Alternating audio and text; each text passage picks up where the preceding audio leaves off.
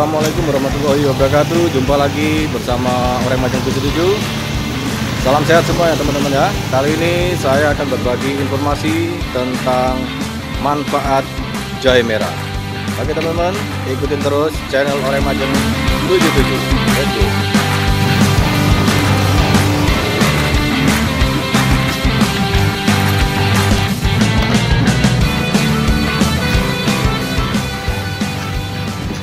Jahenya satu bang Iya pak.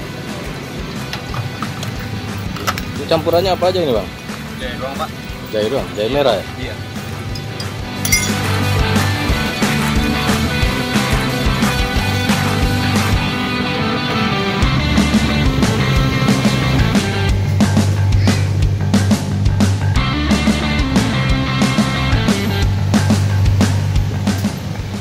Jahe merah atau Juniper officinale varietas rubrum merupakan jenis tanaman rimpang yang cukup sering dijumpai, baik untuk bahan masakan maupun sebagai ramuan obat.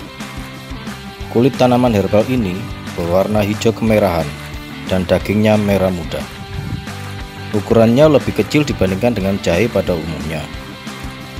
Jahe merah mempunyai kandungan minyak atsiri serta memiliki rasa pedas karena adanya senyawa keton yang diberi nama jingeron. Jahe merah sering digunakan sebagai obat herbal, khususnya di negara Cina. Di negara tirai bambu itu, jahe merah dimanfaatkan sebagai obat untuk mengatasi penyakit ginjal dan memperbaiki fungsi kerja limpa. Jahe merah biasanya digunakan untuk obat herbal. Kandungan gingerol, flavonoid, senyawa antibakteri, senyawa anti radang, dan kandungan baik lainnya. Bermanfaat untuk menjaga kesehatan dan mengatasi masalah kesehatan. Berikut beberapa manfaat jahe merah untuk kesehatan, antara lain menambah stamina, menghambat jamur, pereda rasa sakit, mengurangi risiko penyakit jantung, menjaga kesuburan, mencegah bakteri pada mulut, menurunkan berat badan, menjaga kesehatan jantung, mencegah diabetes, meredakan mual, dan meningkatkan imunitas.